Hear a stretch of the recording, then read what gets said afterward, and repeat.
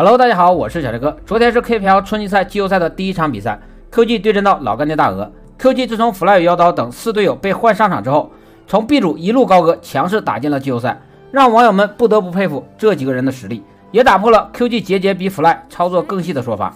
昨天 QG 更是将老干爹大鹅让一追四，直接淘汰回家。比赛中虽然 Fly 没有拿到 MVP，但是他的坦战边打得都非常不错。游戏的第四局，Fly 的廉颇玩嗨了，QG 选择了守约体系。配上廉颇、露娜、墨子和马可波罗，而项羽的守约状态甚好，精准度非常高。全局除了自瞄与墨子一控一局，配合非常默契。可看 QG 的阵容，也只有 Fly 的廉颇坦度最高。然而他却放飞自我，廉颇竟选择了输出的装备。暗影战斧反伤刺甲还说得过去，居然还出了一件破军，在 KPL 比赛非常罕见。不得不说，这件装备都敢出，真是佩服。都知道这样出伤害极高，秒 C 没问题，反之也会非常脆皮。如果一套秒不到 C 位，自己也恐难逃脱。弗莱这波整活让各大主播和观众们都很吃惊，路人局没什么可说的，KPL 赛场上基本没人敢这样出。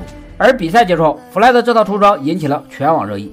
虽然褒贬不一，但只从这局来看，QG 一直都是大顺风，并且老干爹大哥的输出能力不是很强。弗莱深知，即便廉颇出输出装，对面也秒不掉他，何况铭文带的依旧是坦克的，所以他这样出装看着很飘，可也是在情理之中的。对此，小伙伴们的廉颇怎么出装呢？